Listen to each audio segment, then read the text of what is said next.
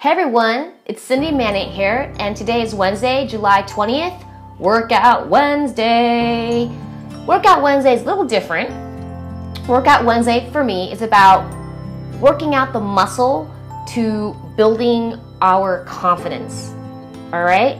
So it is the middle of the summer. Maybe some of you are feeling complacent, a little trapped, stuck, wishing that your energy was a little more um, alive. Maybe you're wishing to have more freedom.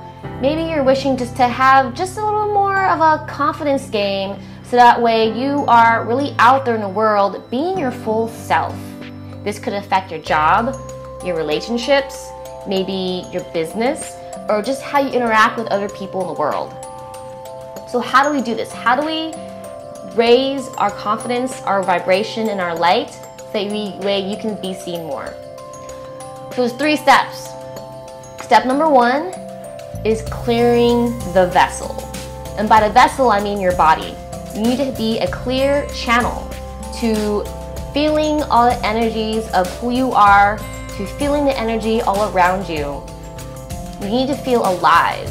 And by doing this, how you clear the vessel is really taking care of your body. For example, getting enough sleep, being hydrated, are you eating the right foods? Maybe there's foods that you're eating that's just weighing you down. Maybe you're drinking too much alcohol. What is it that you're doing with your body that's not allowing you to feel alive and magnetic and powerful? So really pay attention to that, write that down, and see perhaps you can change something today about it.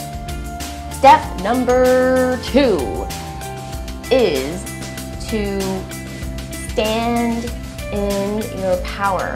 How do you hold yourself really matters because the way that you hold yourself is how the world is going to hold you and how it's going to react to you. So, for example, if you are standing really closed off or you're slumping around, the world's going to slump around with you. It's not going to feel good. You're not going to feel good in your body. So, what I suggest you do is stand tall, open up the shoulders, lift the heart, breathe as you open your body and just notice how you feel. Where are you feeling tight?